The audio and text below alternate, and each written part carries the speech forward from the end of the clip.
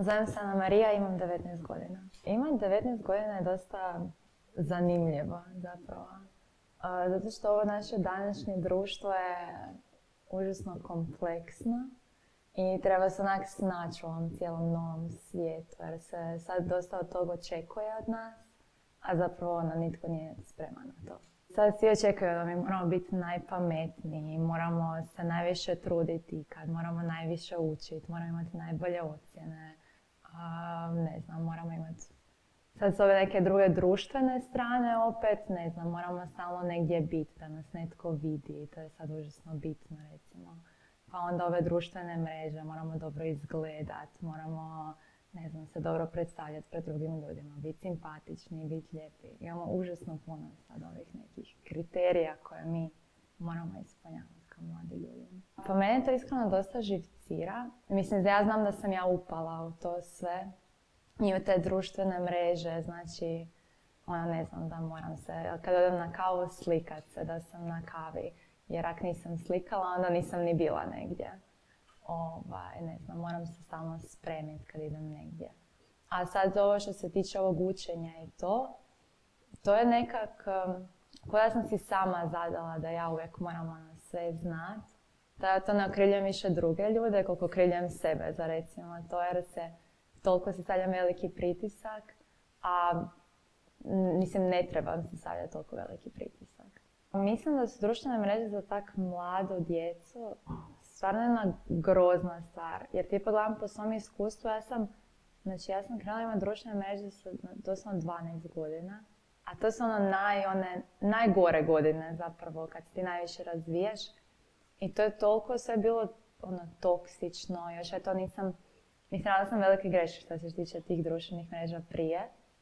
Ovaj, sad recimo sve imam zatvoreno, jer sam skužila, ono, mm, prije je bilo svima kao bitno da što više ljudi zna tko si, ne znam, kak izgledaš, da te prepoznaju, ono kao, aha, ti si ta, kao, znam ja, ko si ti. I mislim da je to bilo i do toga, ne znam, svi 13-godišnjaci imaju najveći ego ikad i onda moraš ono, ha, ja imam više lajkova od tebe, ne znam koja je to već priča tad bila. Ali mislim, mislim da bar ovi ljudi koje ja znam, koji su isto sa mnom kao prošli kroz tu neku fazu tih 12-13 godina takvim društvenim mrežama, da smo mi svi izrasli iz tog. Ono, kad, kad ozreliš malo, tipa sa 17, koliko već 18, mislim da onda shvatiš kao, aha, ipak to uopće nije bitno, ipak je to dosta loše. Osim ovih ljudi, mislim, koji imaju biznis od toga, njima se isplati, ima sve otvoreno, mislim, žive od toga.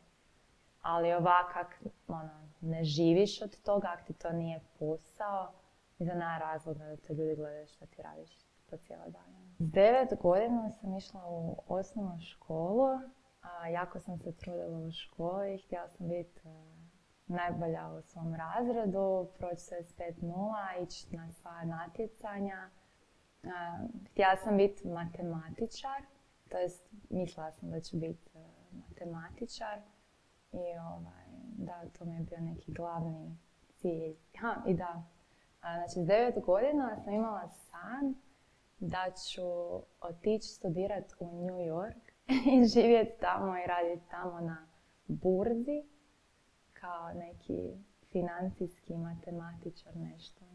Sad kad gledam na to, sad dosta tog promijenila. Nisam bila u New Yorku, kao da studiram tamo, ali da, s devet godina sam imala dosta velike snove. Ja sam sa srednjom školom imala pa, ok iskustvo. Mislim, ja mislim klasično srednjoškolsko iskustvo. Mm, nisam sad ono... Išla sam dosta specifičnu srednju školu koja je isto bila puna štrebera. tako da iskreno savjetujem onak da uči i da se trudi i da prova upisati što bolje faks. Mislim, ne znam, to mi se svi sugeriraju sad. Tak, ali da se i zabavi, to je, ja mislim, najbitnije.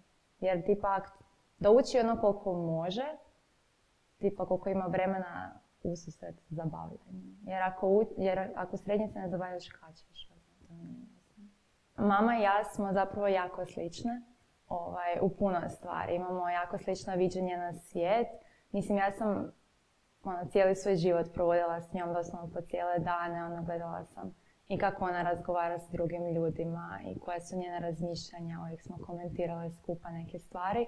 Ja sam, mislim da sam jako puno tog pokupila od nje, ali opet s druge strane sam čista suprotnost s njoj, jer ovaj, ona recimo uopće nije sebična, dok ja stvarno ono, prvo stavljam sebe na mjesto da vidim kako se ja osjećam i onda tek za druge ljude gledam kako se oni osjećaju.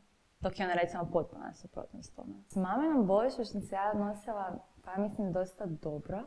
Jer ja sam bila ta koja je uvijek eh, pokušala nju natjera da ne razmišlja o tome. Onda bi, ne znam, ili bila neke šale, nisu to bile neugodne šale, nego ono čisto, ne znam, da se ona osjeća bolje.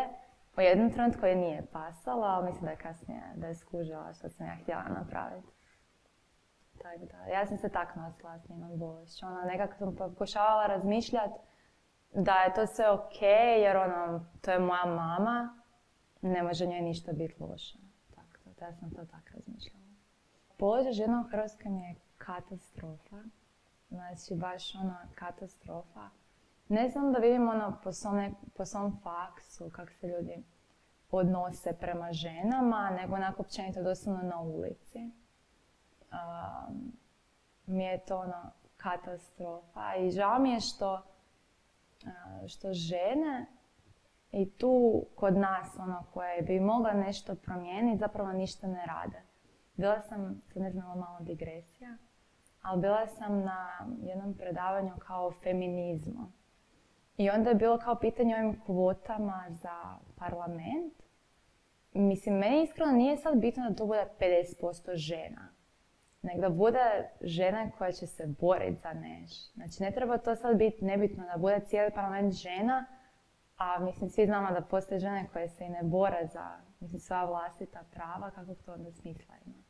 Tako mi je to zapravo, i onda ta kao borba za tih 50% uopće nije stvar do toga mogu biti ono i muškarci, samo da razumiju da je to zapravo bi trebalo sve biti jednako.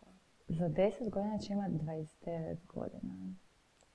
Um, pa mislim, vidim se da će imati neki posao i da, moje najveći inače strah da neću biti uspješna. I tako da se nadam da ću biti već tad uspješna i onda tek kasnije gledat za pokrenut neku obitelj. Jer meni uvijek, kad sam bila mala, bilo ono, prvo karijera, sam s deset godina tak bila, prvo karijera i onda tek kasnije nešto tako obiteljsko.